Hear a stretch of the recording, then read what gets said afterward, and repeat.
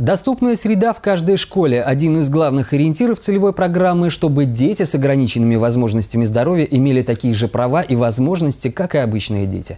Во многих образовательных учреждениях республики началась ее реализация. Учебные здания и сооружения приводятся в соответствии с требованиями строительных норм и правил. Они станут доступными для детей-инвалидов. Комсомольская школа номер два – единственная в районе, где реализуется проект «Доступная среда». По федеральной программе учебное заведение получило почти 2 миллиона 800 тысяч рублей.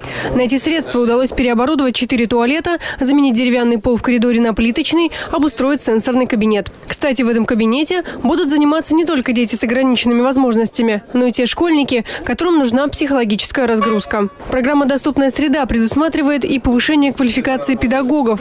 Учителя этой школы школы уже прошли переподготовку и готовы работать с детьми-инвалидами. В сентябре 2013 года дети с ограниченными возможностями начнут посещать школу наряду с обычными. По программе модернизации образования в этом году учебному заведению дополнительно были выделены средства из федерального бюджета – более 2 миллионов 500 тысяч рублей.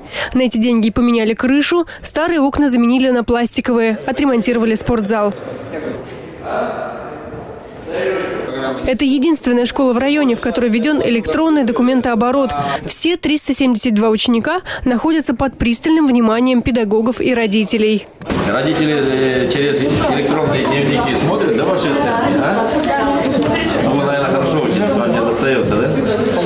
Скрыть сейчас от родителей ничего невозможно, да, Кроме оценок, родители могут узнать расписание занятий, домашние задания и даже общаться онлайн с учителями. Вся информация об образовательном процессе ежедневно вносится в базу данных.